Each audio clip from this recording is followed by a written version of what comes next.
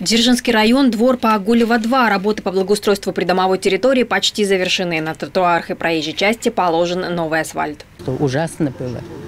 Просто ужасно там не подъехать. Все рады, потому что грязь топтать, да, или все-таки вышел и по-человечески дошел до машины, даже там э, до дороги, до транспорта рады. Жители дома проявили инициативу, сформировали заявку, приняли участие в разработке проекта. И в 2018 году двор попал в программу «Комфортная городская среда». Городские федеральные программы, они на самом деле очень востребованы. И жители идут и к депутатам э, в Пермскую городскую думу на приемы, и, безусловно, в администрации районные с просьбой помочь им организовать эти работы.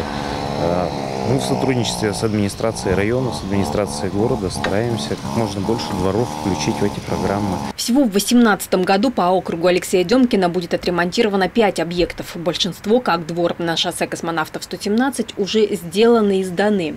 Как вы видите, на придомовой территории свежий асфальт.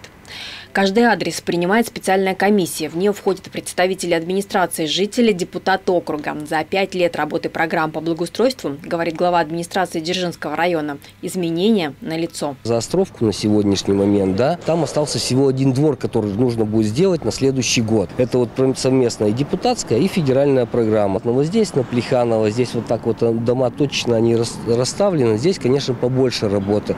Но я уверен, что вот такими темпами еще вот э, три года, и мы точно э, сделаем наш район красивый и комфортным. По словам губернатора Максима Решетникова, при реализации грамотной градостроительной политики сегодня необходимо фокусироваться не только на крупных проектах, но и на решении локальных вопросов, с которыми жители сталкиваются ежедневно.